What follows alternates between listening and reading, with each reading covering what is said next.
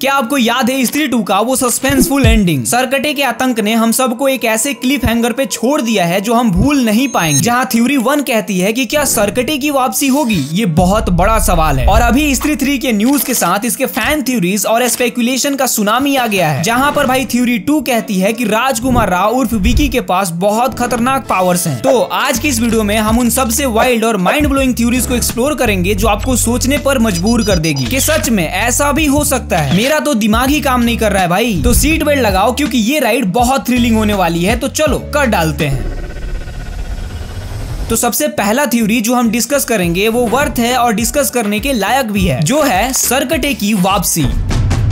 देखो स्त्री टू के एंड में हमने अक्षय कुमार को देखा जो पागल खाने में थे और एक रहस्यमयी बर्तन से कुछ पावर्स को इनहेल कर रहे थे जो बाद में ये मॉन्स्टर से पोजेस्ट हो जाते हैं जिससे मैंने ये थ्योरी बनाई कि स्त्री थ्री में सरकटा और भी पावरफुल होकर लौटेगा। लेकिन यहाँ पर बात थोड़ी इंटरेस्टिंग हो जाती है और यहाँ पर थ्योरी ये है की सरकटे की वापसी इतनी सिंपल नहीं होगी। मतलब की क्या पता वो बॉडी सरकटे के पुनर्जन्म के लिए एक कब्जा हो बल्कि एक मेल हो एक तरह से अपने वंशज को चलाने का। क्या साबित करना चाहता है तू? और इसके साथ ही सरकटे के सुपर नेचुरल पावर का भी। देखो भाई, ये नया सरकटा और भी भयंकर दुश्मन बन सकता है। ह्यूमन इंटेलिजेंस और घोस्टली स्ट्रेंथ के साथ।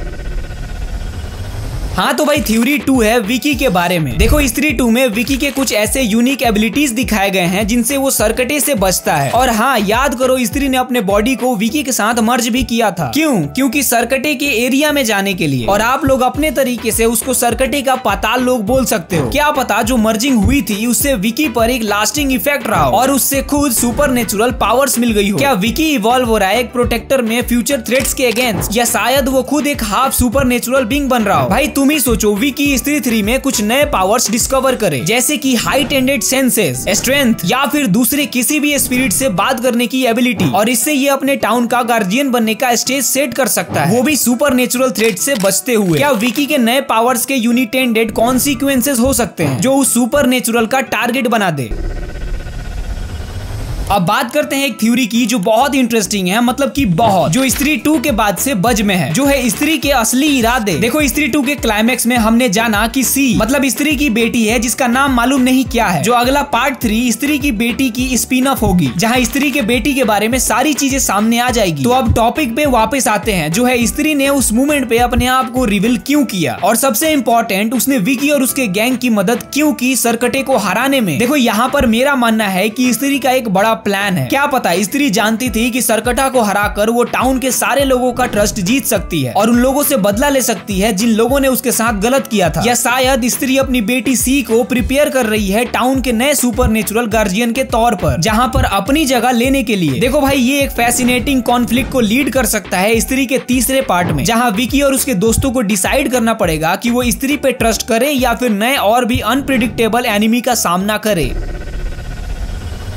देखो अब यहाँ पर थ्यूरी फोर एक ट्विस्ट सजेस्ट करती है स्त्री थ्री के लिए। जो है एक नए सुपर नेचुरल इंटिटी का इंट्रोडक्शन देखो सरकटे का मौत या कम से कम उसके टेम्पोरी डिफीट के बाद। मेरी सोच ये है कि एक नया स्पिरिट या मॉन्स्टर इंट्रोड्यूस करे। ये जो इंटिटी होगी, वो टाउन के किसी हिस्ट्री या फिर पास के किसी गाँव से जुड़ी हो सकती है। जो है नए फोल्कलोर और कल्चरल एलिमेंट्स को स्टोरी लाइन में लाते हुए। क्या पता ये एक नया बिंग एक सिंगल इंटिटी ना हो, बल्कि स्पिरिट का एक कलेक्टिव हो। या फिर एक सवाल, शायद एक प्राचीन देवता जो सरकटा और स्त्री की लड़ाई से नाराज़ है। ये स्त्री के यूनिवर्स को एक्सपैंड कर सकता है नए कैरेक्टर्स नए लोकेशंस और बिल्कुल नए स्केयर्स को इंट्रोड्यूस करते हुए।